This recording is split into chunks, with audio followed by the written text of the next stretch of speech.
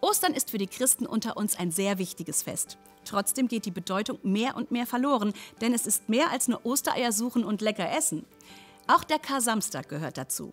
An diesem Tag sollte nämlich eigentlich die sogenannte Grabesruhe herrschen. Außerdem ist es interessant zu wissen, warum Ostern nicht immer an einem bestimmten Datum gefeiert wird. Das liegt daran, dass das Osterfest der westlichen Kirche sich an dem jüdischen Paschafest und an den Mondphasen orientiert. So ist der Ostersonntag immer der Sonntag, der dem ersten Vollmond nach Frühlingsanfang folgt. Doch auch an diesem Samstag haben wir wieder tolles Programm für Sie zusammengestellt, wie zum Beispiel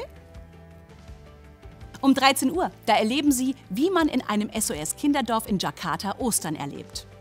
Um 16.10 Uhr zeigen wir Ihnen eine neue Folge bei Anixe auf Rädern.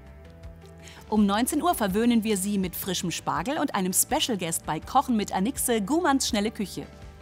Und um 20.15 Uhr amüsieren wir Sie mit einer weiteren Folge von Ein Schloss am Wörthersee inklusive Gewinnspiel. Schalten Sie ein!